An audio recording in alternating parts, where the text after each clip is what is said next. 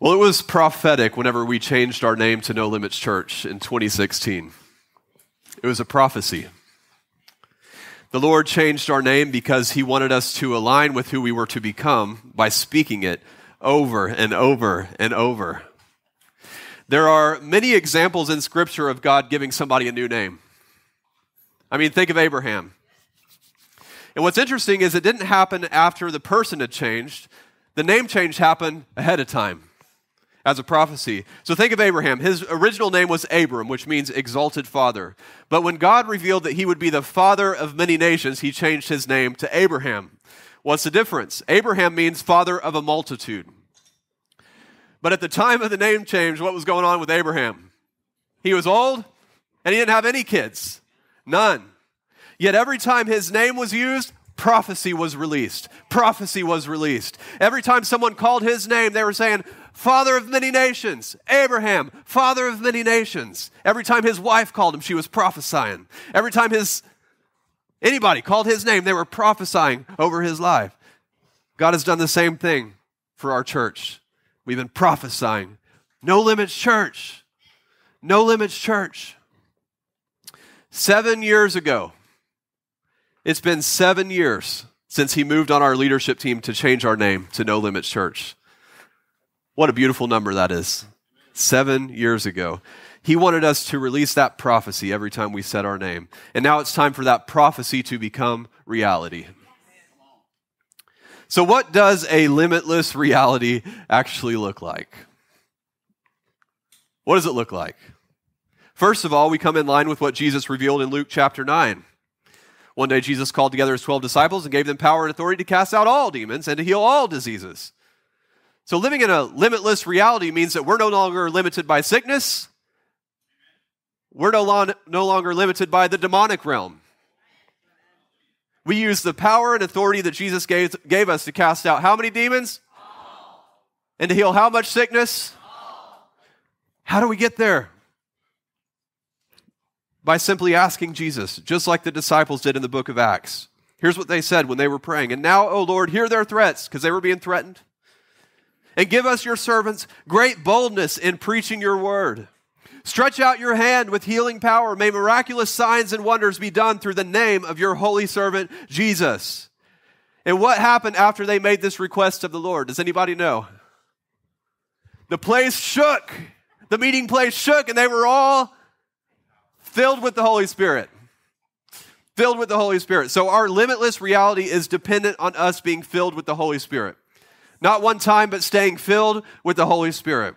We must never hesitate to be filled with the Holy Spirit. Lord, give me a fresh filling. Holy Spirit, give me a fresh filling right now. Anybody want to receive that right now? Just raise your hand. Say, Lord, Holy Spirit, give me a fresh filling right now. I need it every day.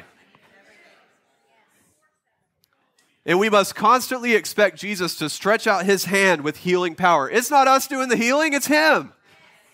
Let him do what he wants to do. Miraculous signs and wonders must become common to the people of God. I mean, it should become so common that when it happens, it's like, well, yeah, that's what my God does.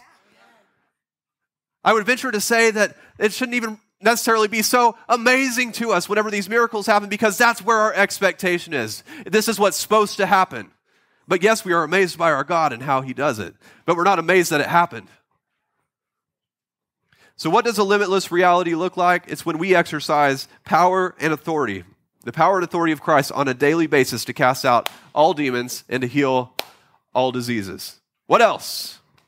John chapter 14 says, Jesus says this I tell you the truth. Anyone who believes in me will do the same works I have done and even greater works because I'm going to be with the Father. Come on, Jesus.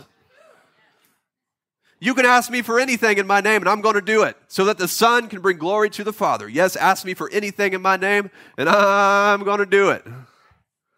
I'm going to do it. Somebody say, Ask me for anything.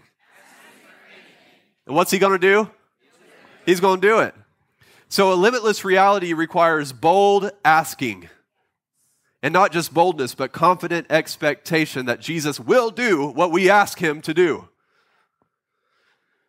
And now, dear brothers and sisters, we can boldly enter heaven's most holy place because of the blood of Jesus. By his death, Jesus opened a new and life giving way through the curtain into the most holy place. And since we have a great high priest who rules over God's house, let us go right into the presence of God with sincere hearts, fully trusting him. For our guilty consciences have been sprinkled with Christ's blood to make us clean, and our bodies have been washed with the pure water. So let us hold tightly without wavering to the hope we affirm. For God can be trusted to keep his promises. Woo! I love that. Somebody write down that scripture reference. You need to go read that again. A limitless reality requires us to be bold in our identity in Christ. Bold. We must be confident in our right to enter the most holy place. We have the right to do that because of the blood of Jesus. We must go right into the presence of God with sincere hearts, fully trusting Him. You see, we have to abandon those old religious mindsets. God, if it be your will. God, I'm only a wretched sinner saved by grace. I'm not worthy to enter your presence. Religious nonsense. Everything I just said is antichrist because it's the exact opposite of what Jesus told us to do. It is antichrist. We know God's will. Did you know that? We know his will. It's revealed through the life of Jesus. You don't need to pray if it be your will. You need to open your Bible, find out what God's will is, and align yourself with it. Don't ever let me hear you praying, God, if it be your will. Oh, Lord, I'm going to say, come on, buddy, let's get in some scripture. We're going to find out what God's will is right now. God's will is healing. No doubt about it. Align yourself with it. God's will is to meet all of your needs. Align yourself with it. God's will is for the church to be glorious. Align yourself with it. God's will is for us to live as kings and priests in this life. Align yourself with it.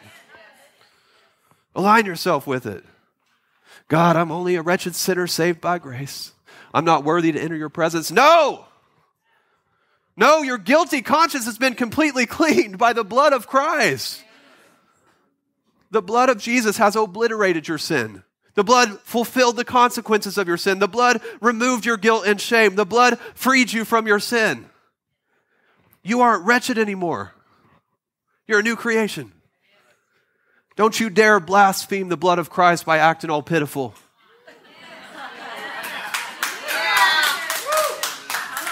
That is not humility, it is heresy. That's why I don't like the song Amazing Grace. Saved a wretch like me? No. It saved the wretch that I used to be. Here's how the religious spirit responds to a message like this Well, that's arrogant. no, it's not. It's confidence. It's confidence, and it's not confidence in myself, it's confidence in the blood of Jesus Christ. So, a limitless reality requires us to be bold in our identity in Christ. We must be so bold that we go right into the presence of God, ask Him for what we need, and confidently expect He's going to do it. He's going to do it. Did you know this even applies to when you've sinned? You can go right into the presence of God, receive your forgiveness, and be cleansed in that very moment and get right back to where you were. Jesus is tired of his body wasting time over here in their guilt and shame and regret whenever he's already paid for it. He knows you're not going to get this perfect.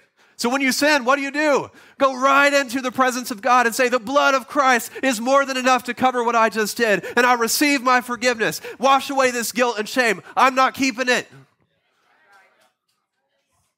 You start doing that, you're not going to sin as often. There's something about hiding from God that keeps you in sin. Have you ever noticed that? As if you can hide your sin from God. As if. Goodness gracious. Oh, what else? What else? Isaiah chapter 54. Enlarge your house, build an addition, spread out your home, and spare no expense, for you will soon be bursting at the seams. Your descendants will occupy other nations and resettle the ruined cities. A limitless reality requires complete freedom from the poverty mindset. Physical resources, money, land, buildings, supplies, all that stuff, that's nothing to God. Nothing. We're the ones who make it a big ordeal. God's just sitting there waiting for us to think like He thinks about this stuff. The resources are ready, readily available. We hinder our access to the resources with wrong thinking. That's what's going on here. We choose to cling to what our parents said or, or how we were raised in poverty growing up, so that's got to be our reality, or what our pastor said in another church, because I've never said that, or what culture says, rather than what the Word of God says. I can guarantee you that Jesus never made a big deal out of money or resources. Never. He never did it. While the disciples are over there fretting about if they would ever if they would have enough, what did Jesus do? He aligned himself with the Father. When he was faced with feeding 5,000 people, Jesus didn't fret. He wasn't worried. He aligned his thoughts with the Father. You know what, Father? Resources are nothing to you. Everything needed is provided by you at just the right time. And what did God do? He fed the 5,000. He supplied all their need. And he did more than was necessary. There were leftovers. Resources are nothing to God. They're simply part of the process of establishing his kingdom here on the earth. We have to use them on the earth. There's part of the process. God has all the resources. God has all the resources and desperately wants to get them to us. He's trying to get them to us. Quit blocking it with wrong thinking. In the verse we just read, it said to spare no expense when you build God's house. Did that rub you the wrong way? If it did, the poverty mindset is still at work within you. Are you bothered when the people of God have nice things? Are you bothered when the church spent money on something that you disagree with? Are you bothered that that big name preacher on TV has his own private jet? Are you bothered by money in any way and how people spend money? If so, the poverty mindset is at work within you. A poverty mindset clings to the idea that resources are limited. If we use money for a nice building, we won't have money to feed the poor. That's called limited thinking. You're acting like God doesn't have enough resources to build his house, sparing no expense, and take care of the poor in the process. Really? A limitless reality requires complete freedom from the poverty mindset. Anybody want to receive complete freedom from that today? Break the strongholds, Lord. Break them off. All right, what else? Isaiah 30, chapter, Isaiah chapter 30, verse 15. Only in returning to me and resting in me will you be saved. In quietness and confidence is your strength. A limitless reality requires resting in the Lord if you're striving and hustling and working your butt off to get things done. You will always be limited by what you can do. That's the way of the world. It's not the kingdom of God. Here's how Jesus demonstrated the kingdom for us. John chapter 5, Jesus explained it. I tell you the truth the Son can do nothing by himself, he does only what he sees the Father doing. Whatever the Father does, the Son also does. Jesus did not keep himself busy. He didn't try to impress people with how much he could accomplish. He didn't buy into the idea that those who work the hardest are the godliest.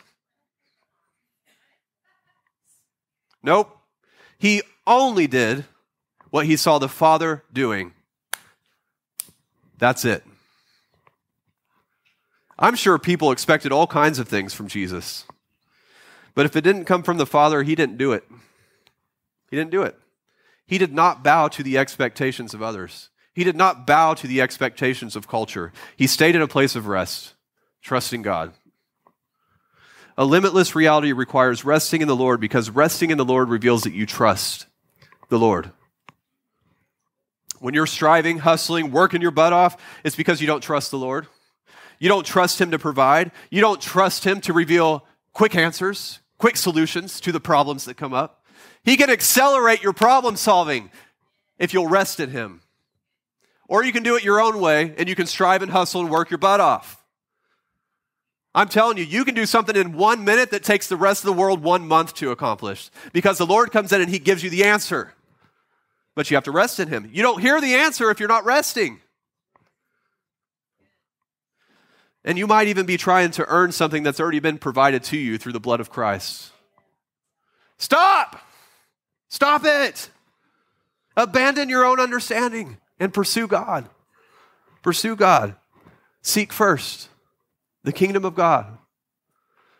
I have this visual when you're seeking first, so you're, you're walking after the Lord. All the things are added to you. It's like a magnet. The provision comes, whoop, right when I need it. And it just like hits, comes into your pocket right when you need it. But you're just following the Lord. That's all you're doing. And the stuff is coming to you that you need to accomplish what He's asked you to do. How many of y'all want to live that kind of life? Well, well I, got, I got some advice for you. Do it. Do it. Do what Jesus did. Decide right now, I'm only doing what I see the Father doing. That's it. In other words, you're going to wait on the Lord to reveal your next step while you rest in His perfect timing. I'm resting in you, Lord. His ways are better, His thoughts are higher. You know what that means? His ways don't align with your ways, His thoughts don't align with your thoughts. You have to abandon your own ways in order to pursue God's much better ways. And I can tell you right now, our busy lives do not impress God. Our busy lives are not a reflection of Jesus. Our busy lives are a distraction from what God wants us to do. Slow yourself down. So, how do we know what God wants us to do? That may be a question you're asking now. Like, if I'm only going to do what the Father wants me to do, how do I know what He wants me to do? Isaiah chapter 52 has the answer. God said, But I will reveal my name to my people, and then they'll come to know its power. And then at last, they will recognize that I am the one who speaks to them. So, to recognize God's voice, first, the name of Jesus has to be revealed to you. That's when you get saved. How many saved people do we have in the room? The name of Jesus has already been revealed to you. But then you have to come to know the power of the name of Jesus. It's when you finally realize that the name of Jesus removed our transgressions, our sins, our rebellions against God, and obliterated it all. That's the power in the name of Jesus. And not only that, but the name of Jesus removed the consequences of your sin. The guilt, the shame, the punishment you deserved, it's been fulfilled by Jesus. That's the power in his name. And not only that, but in place of the guilt and the punishment, the name of Jesus gives you peace with God. It restores your covenant relationship with your heavenly Father. That is the power. You realize how much power it takes to do this stuff? That is the power in the name of Jesus. And not only that, but the name of Jesus healed us. It mended us back together. It cured every sickness and every disease. It cast out every demon. The name of Jesus does that. That is the power in the name of Jesus. So once the name of Jesus is revealed to you and you come to know the power of the name, then at last, at last, you recognize that He's the one speaking to you. God has been speaking to you all along. You just haven't recognized it. But now that you have come to know the power of the name of Jesus, which many of you did at communion this last Thursday, you came to know the power of the name of Jesus. Once you know that power, you recognize his voice. Lord, that's you speaking to me. So, a limitless reality requires resting in the Lord. It's when you get to a place where you no longer fret in the times of waiting. I'm speaking to you. How many of y'all fret in the times of waiting? You no longer fret in the times of waiting. You don't freak out whenever He calls you to do something you're not qualified for. How many of y'all have heard the Lord call you to something you're not qualified for? Really? Me? Okay. Okay. I'll do it. You simply live in this great peace Peace, right? The Prince of Peace. You live in this great peace because you trust the Lord knows exactly what He's doing, whether you agree with it or not. That's the kicker, isn't it? You trust that He knows exactly what He's doing. Really, Lord, that's what you want me to? That does not make sense to me. But you know what? Your ways are better. Your thoughts are higher. That's what I'm going to do. He knows what He's doing. that's funny. Oh, have you ever argued with the Lord? Yeah, I had to repent for that. I'm like, Lord, how foolish of us to think that we can argue with you. Wow. Wow. yeah, the Lord is good. So, our assignment for this church is to make Owasso a safe haven until Jesus comes.